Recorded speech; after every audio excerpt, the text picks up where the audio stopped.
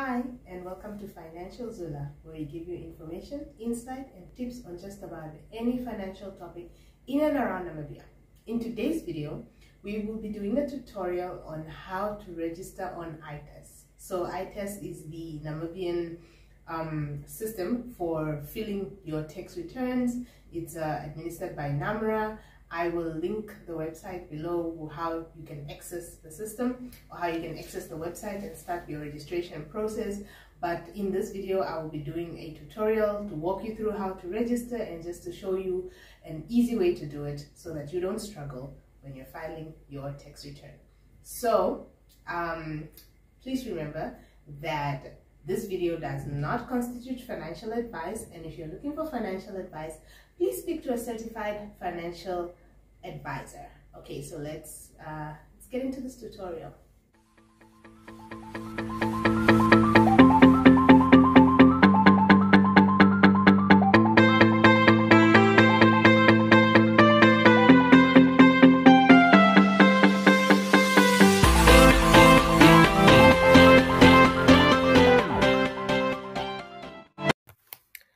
Okay, so let's start with this tutorial.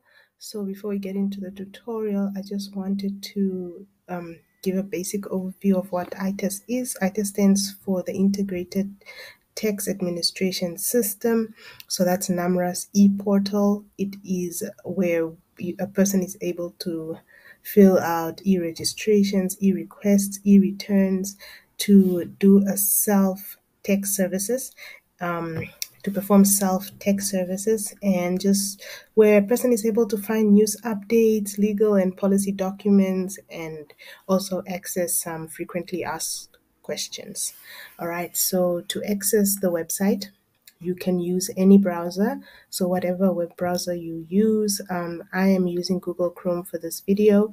So I'm going to show you two ways on Google Chrome on how you can access the system or how you can access the website. So I'm on Google and I'm just going to Google search um, Namibia.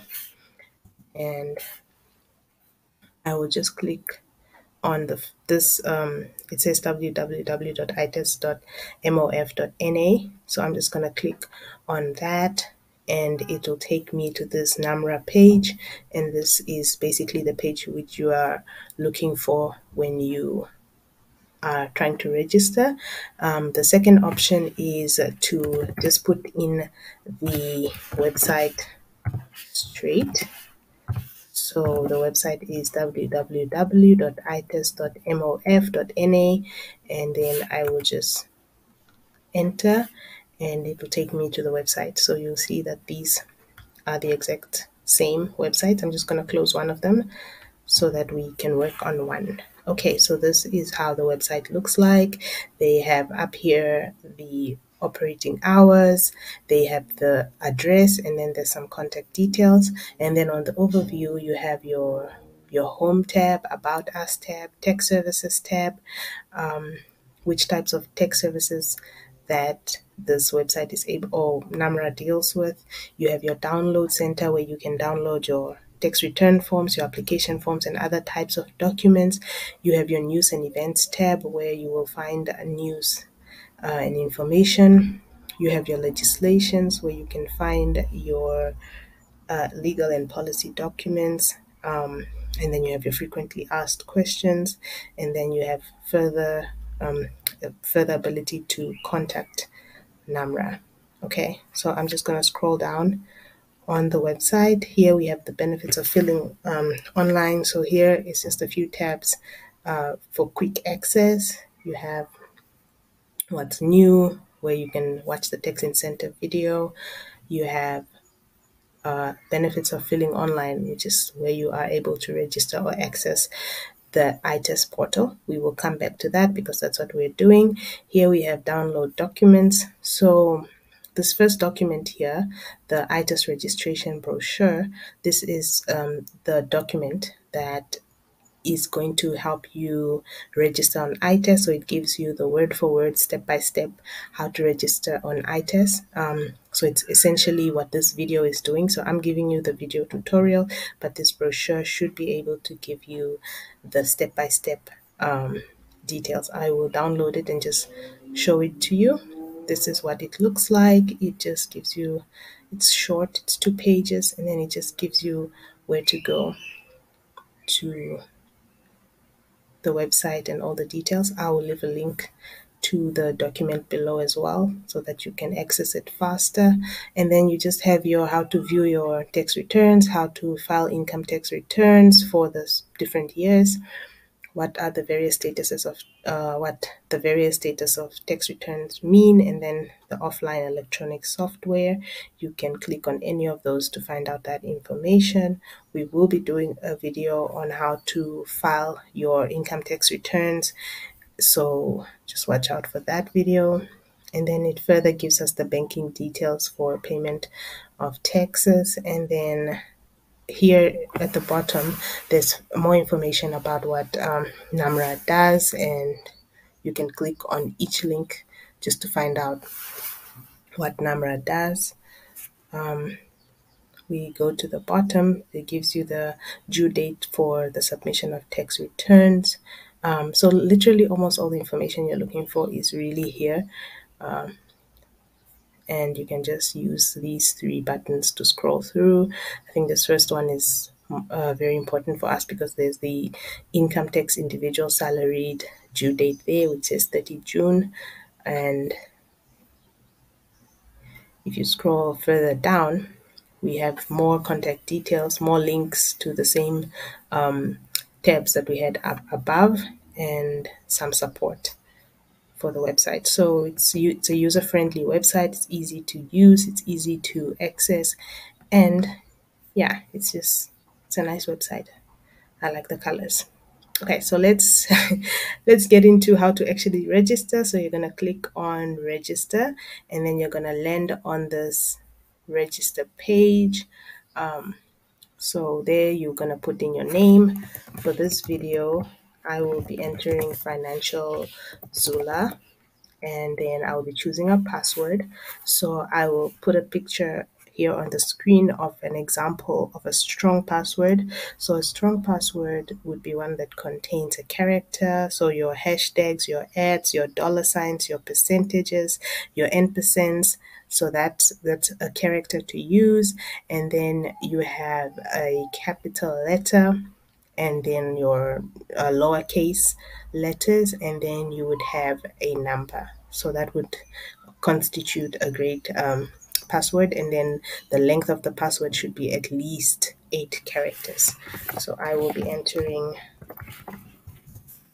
my password there. So the thing is with this is that you cannot view your password um, I've tried. I don't know how to. So you're not able to view it. So when you type it, you have to make sure that you are typing in the correct password. Okay. If you were to type in a password that doesn't match with the password above, it will give you this um, alert that says both entered passwords and the confirmed password are not consistent. Please re-enter, meaning that you need to enter the correct password. Otherwise it won't go through. So let me try again. It's probably going to give me the same error but just to show you guys that and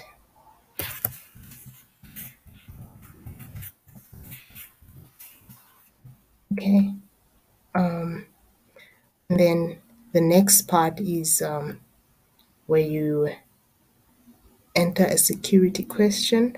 So the security question, there's three security questions, and then you choose one that if you forget your password and you need to sign in, um, the system is going to ask you the security question. And if you answer it correctly, you'll be able to get access back into the website. So I'm choosing the first one, which is what is your favorite hobby? And I will just say YouTube here. And that is the answer. And then for my email address, I'll go financialzula at gmail.com. And so that's your email address, the one to which it needs to be an active email address because this is the email address to which you will receive a confirmation email that will they'll send an activation link to this email address so that you are able to confirm that it's you and you can be able to activate your ITAS account and be able to log in. So you want to put in an active email address. And then here by the verification code, you basically look at that verification code. It's usually four, a mixture of four characters, which is um, a combination of letters and numbers. And if you can't see it properly, maybe it doesn't make sense to you, you are allowed to refresh and then it will give you a new one. And then you can just enter that one as well. Okay, so I'm just having trouble with my password. So I'm just to go back and change the password again. Slower this time. Uh, make sure it's the correct.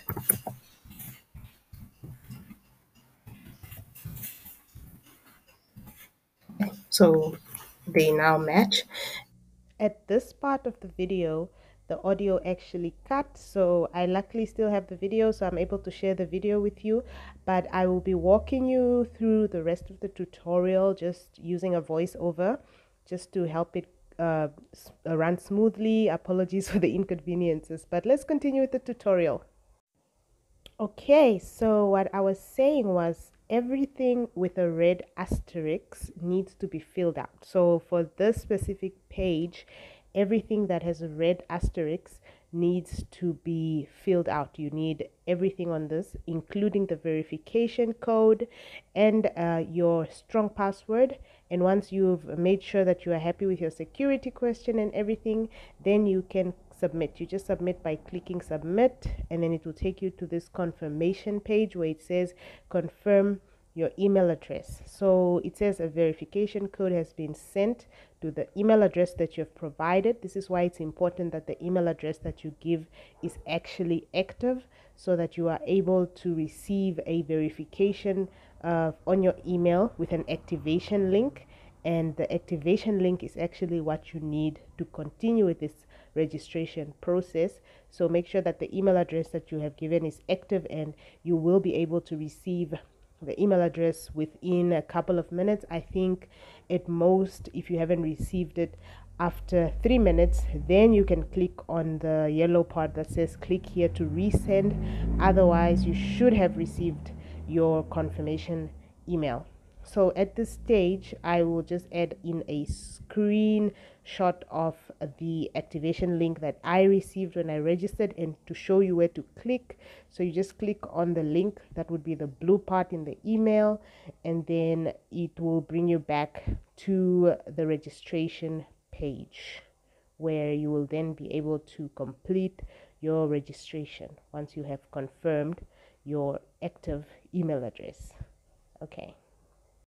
The registration process is now complete. So you go to the ITAS portal and then what you do is you uh, log in now as an uh, as a registered taxpayer so you enter the username that you entered when you were registering and then you enter your password so the good thing about the login page is that you are able to actually view your password so you don't have to be like super cautious about entering it because you will know for sure that you're entering the right password.